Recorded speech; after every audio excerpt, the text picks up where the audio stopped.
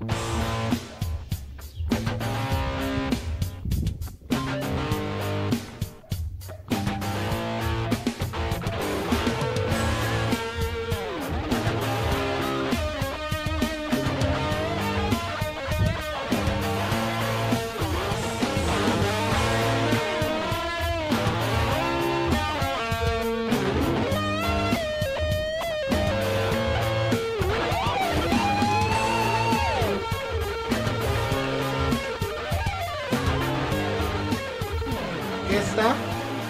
es la espilota Cheney. Tienen exactamente la misma edad, pero el tamaño sí es el doble por lo menos de la del Bradley. Bradley. Aunque los colores de este es mucho más brillantes, Sí, el contraste casi casi está- fosforescente. Pero vean, vean la diferencia de colores, de patrones. Esta está, yo creo que cerca de mudar, la Bradley, por eso se le ve el tono también tan apagado. Pero, eh, pues la cabeza es mucho más gruesa. Sí, Tienen escamas cabeza. mucho, escamas mucho más delga- mucho más chiquitas en la cabeza. Pero la Cheney, el color de color la Cheney, está fantástico. sí es un Sí, amarillo sí, fosforescente muy cañón. Ahí se ven las dos. Tú no sueles hacer esto, ¿verdad? De sacar así como que dos No, nunca. al mismo tiempo, nada. Nunca, nunca, nunca las junto. Pero sí, vean. De hecho, ya una ya se está agarrando de algo. De allá de los ganchos. Vente, chiquita, vente. Vean. Pues ahí están otras de las bellezas. ¿Te acuerdas que una te mordió el hombro? Ah, Es sí, esta. ¿a esa? Es esta. Sí, está más, más chiquilla, Mucho más, chiquita. sí. Sí, mira. Sí, ya ahorita un besito de ella. Ya, Ya se siente. sí, ya sangras más. Así que te grabo. Hay unas que, hay ¿de una, la que está en Papua Nueva Guinea, que Ajá. es este, ay, la Cuastal, me parece. Esas son de, de Papua Nueva Guinea, son las únicas asiáticas. Pero esa Coastal es un, este... Una localidad localidad. Ah, Eh. no, hace, no hace referencia a que son de la costa. de la costa, De así la es. costa, ¿no? La- Sí, sí, sí, Más, son- más este, pegadas a lo que es- puede ser este. Hay varios, hay varios, hay- de hecho las Morelia espilota espilota, que son las Diamond, las Ah, sí, las diamantes. son las que las serpientes que más al sur del mundo se encuentran. Son las únicas serpientes que se, que se encuentran hasta lo más al fondo de, a lo más al sur del planeta. Son de climas mucho más fríos. Una como punteadilla, ¿verdad? Ajá, es, es así como, como diamantitos en el Sí. patrón. Y esa, esa serpiente regularmente este, tienen un, muy poca tolerancia a la sobrealimentación. Le llama la atención, de hecho ya soltó ahí su, su es que besito. percibe el calor de, Sí, sí, sí. de la cámara. Sí, sí, sí. De hecho, ¡oh! ya le está dando sus llegues. De hecho, está viendo súper fijamente ahí a la cámara.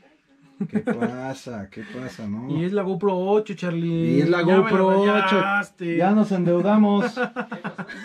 No. Pero sí, son, son de las serpientes, tienen gran variedad, casi todas se encuentran en Australia. A diferencia de, de los, de las molosas como los birmanos o los reticulados, pues hay que tener más cuidado con la cuestión de, de sobrealimentar, de darles excesivo alimento. De hecho, después del kilo se recomienda, eh, del kilo de peso del animal, sí. se recomienda ya empezar a alimentar cada 15 o 10 o 15 días. Porque tienden a enfermar con. Tienden a hacer, de hecho, esta que estás cargando se aventó un ayuno de nueve meses. Nueve meses donde le hicimos estudios de sangre, le- un exudado por el, por la cloaca, para checar si tenía alguna especie de, de infección, alguna especie de bacteria, algún, o sea, pues revisar justamente qué era lo que tenía. tenía, y- Se le hicieron muchos copros y no agarraba. Y ya, de repente de la nada un día lo ofrecimos. ¿Estrés? ¿Qué pasó? Ella, No se supo, porque no simplemente yo la, como que ella misma se bajó de peso. Como dijo, este cuate no me está midiendo la alimentación, pues yo solita me voy a Ahí hacer. te fuiste dando cuenta. Ajá, exacto. Eh. Empezaron a, a tener como eso, o sea, de, de no querer este, mostrarse, no querer mostrarse eh, o estar tan, tan gorda, pero realmente nunca estuvo gorda. De hecho, en esos nueve meses solo bajó 100 gramos, que es muy Sí. poquito. No, ahorita se ve con muy buen cuerpo. No muy tono, gorda, buen no tono sí. muscular, buen tono este, muscular, buena coloración, muda perfecto. Y esta es una hembra que también vamos a intentar meter este año. Selección de este, genética y, y pues la verdad, Es una joyita. sí, es una... Y la vamos a intentar meter, vamos a ver qué tal nos va con Bien. estas. Y bueno, nos acaba de decir aquí Antonio Márquez que se va a rifar una mordida de la Morelia. Entonces vamos a ver si es verdad. Toño, Toño, Toño. Nunca dije eso. Sí, digo, ya lo vimos que lo mordió un varano, ya lo vimos ser mordido por un cocodrilo. Y ahora no, nos va a dar, deja eso. nos va a dar el, el gusto. Vamos, Antonio. No nos digas Ya, que ya, ya. Bama Reptiles. A ver, guárdame. Vamos. No, no, no se te ven las ganas, ¿eh? No mames, no me vayas a morder. No, no te voy a mover. A ver, Charlie, tú sí, tú sí puedes. No, ya no me quiero No, vamos, vamos. Vamos, vamos, ay, ay, ay, ay. Vamos, un beso, Charlie. A ver, Nancy, ahí está.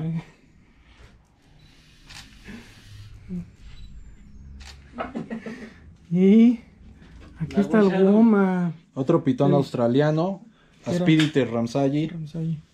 El que era como una culebrita la última vez que lo vimos. Parecía boa de harina. Hay dos subespecies.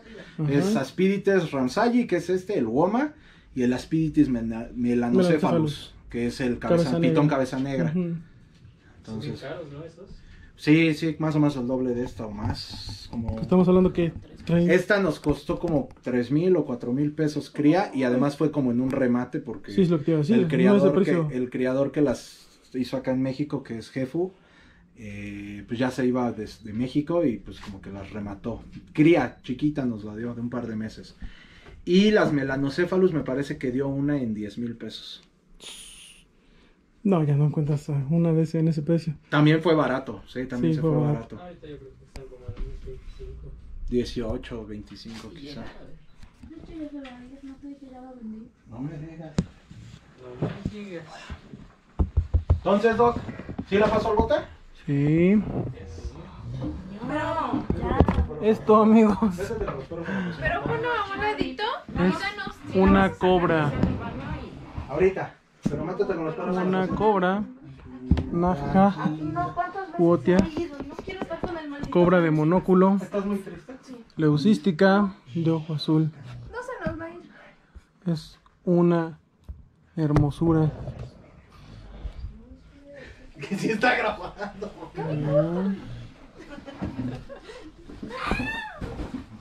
Y Antonio Márquez le va a manipular.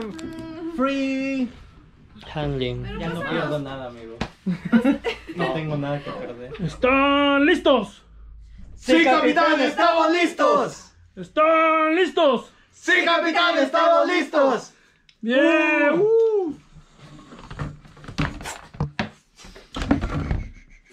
Una cobra de monóculo. ¿Y dónde está el monóculo? No se le ve porque ¿No se le ve por el morph? Ujú. Sí se le llega a ver eh, cuando va a mudar, pero muy leve.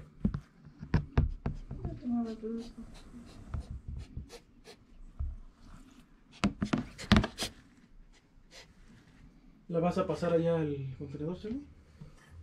Es la idea. Es la idea que se deje. Ahí está.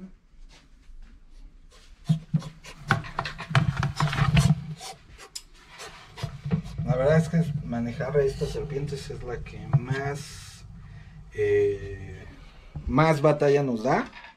No tratamos, de hecho, ahorita a la única manera que me convenció José Luis es porque la voy a aprovechar para pesarla, porque la vamos a desparasitar. Lo ideal es que cuando manipulas veneno sea con una intención y no nada más por el faroleo, no nada más. una- Ahorita una estamos bromeando, cabe mencionar que estamos bromeando, pero con, con la con la cutia encerrada, con los perros encerrados, este, pero lo ideal es que aquí voy a aprovechar para hacer una eh, el pesaje para ahorita que tiene todavía una talla considerable, o sea que todavía no está tan grande, pues se pueda eh, desparasitar por medio del alimento. Nosotros vamos a inyectar el desparasitante, obviamente recetado por el veterinario que es el que atiende a, a mis animales. Y vamos a eh, inyectar el roedor descongelado y le vamos a, la vamos a alimentar. No manipulo regularmente estos animales si no es con una intención de alimentarlos o limpiarlos. La única manera es siempre del topper que ahorita vieron a este a este bote de contención. Le vamos a, a comprar un terrario, pero todavía no conseguimos el que nos haga el terrario completamente seguros. Porque aparte, Especial. Tiene que tener como este, separaciones, lo que pasa es que cabe mencionar que son muy buenos escapistas. De hecho, Sí. por eso tiene como esos, estas Sí, mariposas con tornillo mariposas, para todo. asegurarse. Porque son muy buenas escapistas. Entonces, este es un animal precioso, es un animal bien, bien, bien bonito. Pero pues por lo mismo es súper, súper, este. Súper de cuidado y además es muy nervioso. Mira, igual si quieres acércate. Doc. Ahí se puede ver un poquito. Más realmente su, su color. Cabe mencionar que el doc, el doc está grabando con un con un bastoncito, con un este Un bastón largo. un bastón largo y su GoPro no está ni cerca a su mano. Nosotros nos encontramos más o menos a metro y medio de distancia, un metro de distancia del animal y todavía se avienta como como loco. La verdad es que él, ver, ahí está. Sí, no es no es de juego este. Pues realmente Charlie es muy serio con, con esto lo que hace. Como él lo dice, estamos entre bromeando, ya saben, entre amigos, pero nunca perdiendo esa distancia, nunca perdiendo las medidas de seguridad. Pues realmente, como dice Charlie, realmente Está ideal Nancy sería- con dos ganchos, está Antonio con el tong, Sí. estamos alrededor de él por cualquier Lo cosa. ideal sería también como un poco más espacio, ¿verdad? O sea, estar en un Totalmente, lugar totalmente, sí. De hecho, nosotros cuando manipulamos, pues estamos completamente solos. Lo manipulamos, este, regularmente eso es lo que intentamos hacer. Eh, nunca las manipulamos, este es el primer sábado en muchos meses que manipulamos. Regularmente siempre manipulamos en horarios donde el hospital haya, pues como más manera de que, hay- de que te atiendan. una regla, ¿no? Casi siempre manipular en un horario, que sepas rutas, que sepas... De hecho, tenemos Hay las mucho rutas, detrás del tres manejo. rutas para llegar. Por ejemplo, aquí nos queda 10 minutos el hospital de la raza. Digo, no es pensar en, ay, nos va a morder, pero sí, siempre cabe la, la, po- la posibilidad de que uno de estos animales Y es potencialmente letal, ¿no? Un animal de estos es potencial. muy letal. De hecho, Antonio, letal. todavía has estudiado lo de los venenos y sí son... Sí, es de los, de los más potentes. Sí, entonces es una cobra de monóculo, es una, este, naja cutia y es, es de los más, déjenos Y vaya, su tamaño realmente todavía está muy pequeña, pero he llegado a ver estas cobras en colecciones o en exhibiciones de un tamaño, yo creo que cinco veces más. Sí, cinco veces más. Cerca de dos metros, ¿no? Un 80, dos Sí. metros. Vean el carácter natural, normal de, de un ejemplar de esto, de una, de una cobra, de una naja de origen asiático. Pues bueno, pues ya, ya la vimos, ya disfrutamos, vamos a dejar que Charlie haga lo suyo, que la pese. Muchas gracias por, por darnos la oportunidad de, de verla, de ver cómo, cómo, cómo se manipula, de, de podernos acercar en cámara a ese hermoso ejemplar. Y recomendación, este tipo de animales, pues no, ¿verdad? No es como para recomendarlos. Yo en algún tiempo tuve veneno, la verdad es que a mí me gustaba de cierta manera. así. Sí, no, pues me los prohibieron por algo. ¿Quién sabe quién? Quién sabe quién y por qué. La Eh, cuestión aquí es que también eh, estos animales los tenemos con la intención, sí tenemos el proyecto justo con Antonio, Antonio tiene la hembra, yo tengo al macho y tenemos como la intención de también montar, eh, si se puede, En una algún tiempo, exhibición. ¿verdad? Una exhibición. Y pues estos son de lo más vistoso que se puede ver en una en exhibiciones. sin entonces. duda. ¿Estás seguro, Charlie? Eh, ya, ya está más tranquila, ¿no? Sí, yo creo que ya podemos. Charlie Digo- dice que... Uno decide, ¿no? Sí. ¿Qué es lo que va a hacer? No manches. Charlie, no, no, no, no, no. No, Charlie, no. ¡Ay! No, no manches. ¡Ah, ah! Cuidado, cuidado, cuidado. ¡Ah! No No manches, manches, Charlie. Charlie. Charlie, esto, amigos, no se hace en casa. Charlie, no. Y eso no se debe de hacer. Oye, güey. ¿qué espera? Esta no es la cobra, no mames. No, amigos, este es una pitón reticulado. Fase eh, Cow Cow Golden Golden Child. Del Doc y Nancy es nueva, pero queremos hacerle la payasada. No al free handling. Este animal es constrictor, es una pitón. Es de broma, es una Sí. cría. Y Este esta animal. sí tiene los ojos azules. También la otra. Ah, no, claro que no. Yo- No la voy a no. sacar. A ver, sácala. No la voy a No, sí tiene los ojos claros. O sea, tiene los azules. Y entonces ya saben amigos, no a las cobras, sí a los pitones reticulados. Sí a los retics.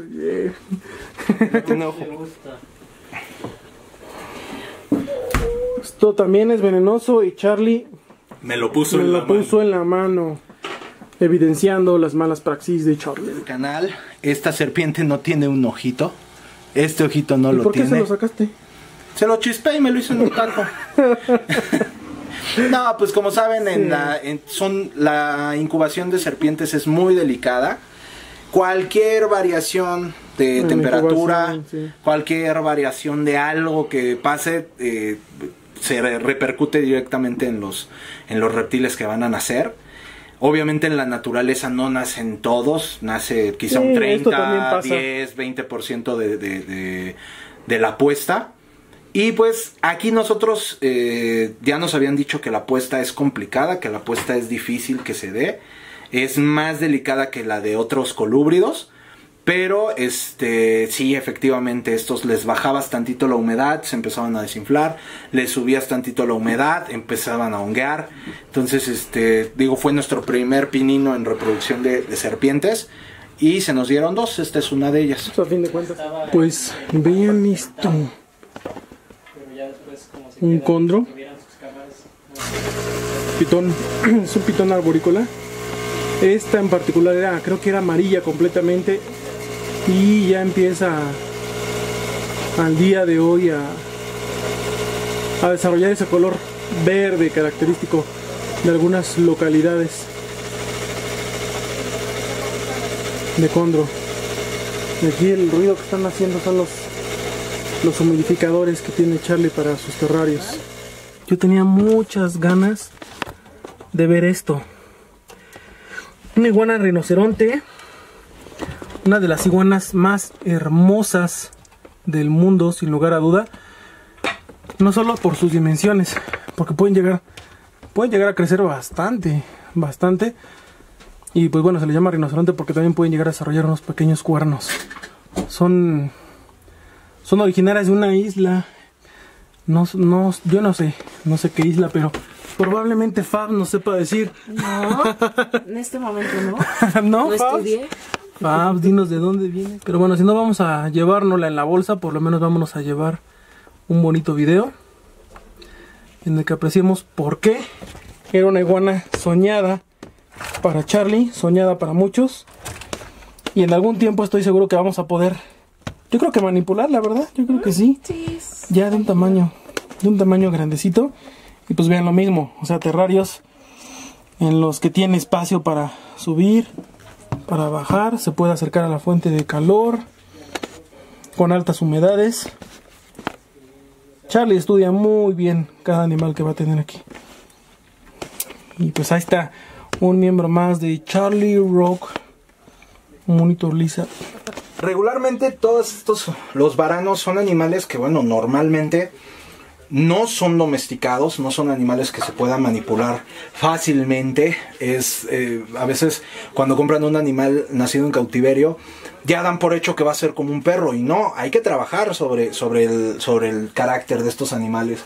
Aquí tenemos dos, dos eh, que son doble head, heterocigotos para eh, sulfur y para black dragon que teóricamente nos daría la posibilidad de sacar doble heads nominales eh, sulfurs eh, blacks y este quizá una fusión entre eh, black y sulfur. Que sería ahí el doc que es especialista en la genética nos podría decir más o menos cuánto entre doble head por doble head pero lo que queremos mostrar ahorita es el color tan bonito que tienen, Sí. pero nos vamos a enfrentar a dos varanos muy, Oye. muy nerviosos. Dime, Doc. Eh, para los que no saben eso de homocigoto doble G, de este, ¿qué, qué, qué significa así como que a grandes Doc, rasgos? me estás, me está- estás saboteando, aquí el científico Sí, eres no, tú. es que aquí está muy científico, este, Charlie, yo la verdad no lo entiendo. Tienen potencial términos. en, en cristiano, en idioma cristiano. Estos varanos cruzándose tienen potencial para sacar animales de color, eh, de fase recesiva, color negro, color sulfur. Ese es como el cristiano, sin irnos a los alelos y que todo eso de, de la genética que realmente Qué no es algo- locos, sí. Sí, no, yo pensé, yo es que yo doy por hecho que tu, que tus suscriptores, al ser amantes de, la los y retics, de la genética. deben de saber perfectamente que es un heterocigoto. Hay mucha gente nueva en esto y bueno, yo, yo le pregunto a Charlie que qué trata de decir. Justamente por eso yo quiero que él nos explicara que cruzando estos dos ejemplares que visualmente son muy parecidos entre ellos, podemos sacar ejemplares completamente diferentes, ¿cierto? Fases completamente de color completamente distinto. Que uno pudiera llegar a pensar que son como hasta otra especie, Ujú, pero así es. no. Que en mucho tiempo se consideraron otra especie, que eso, Sí. eso, eso es lo que al, al pasar de los años los, los científicos, los biólogos, los mismos cuidadores han aportado información acerca de todos estos animales y que ya se dan cuenta de cómo es que trabaja la La genética. genética, ya una vez que se reproducen, hijos, padres, porque sí siempre hay endogamia, a fin de cuentas, para comprobar Así es. la genética, se comprueba que sí se hereda, que pueden producir otro morfo, otra fase u otro. Y efectivamente, con esa parejita van a salir unos negros y otros sulfur que son casi como Amarillos, son crema, son cremosos. un color muy muy bonito. Entonces, ese proyecto no lo tiene ni Obama, ¿verdad? No, aquí la cosa con los con, con este tipo de varanos que son muy nerviosos Sí. es hacerlo de la manera adecuada. Obviamente son animales que tienen garras, que tienen colmillos, en los cuales tienen la facilidad para lastimarnos en el momento en el que ellos se deciden. Todo movimientos lentos. Si dan cuenta, no estoy peleando más con él. Lo saco lentamente. Él sigue muy nervioso, pero no estoy peleando con él. No lo estoy forzando. Entonces, Él sí me está arañando. que fluye, que Pero fluye. justamente estamos evitando eso.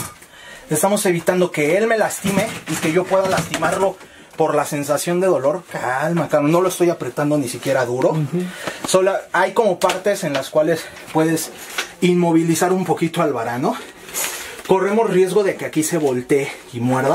Pero no ¿no? tiene, no tiene mucha actitud de morder ahorita.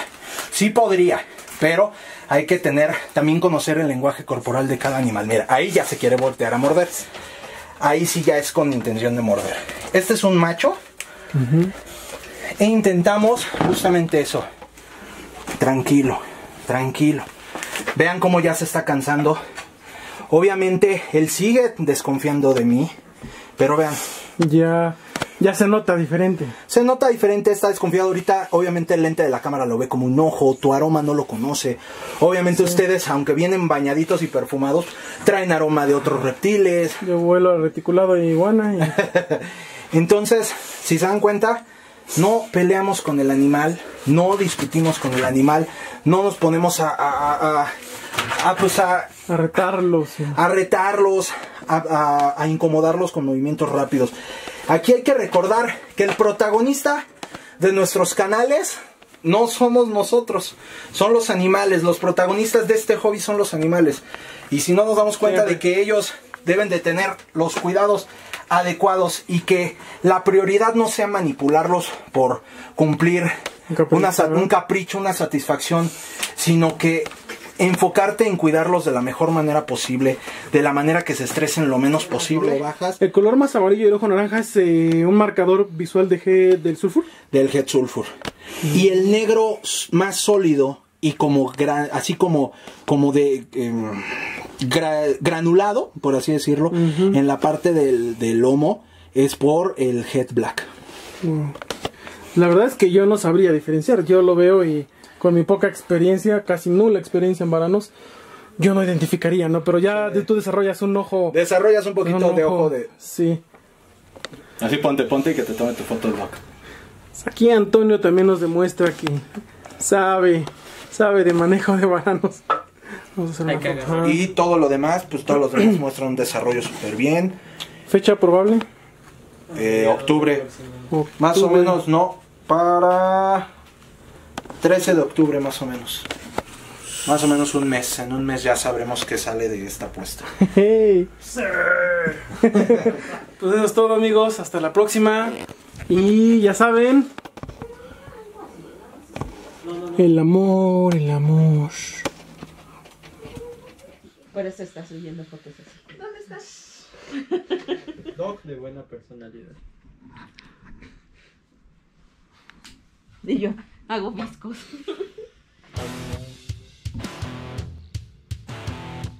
Y ya saben amigos, like, suscríbanse y compartan.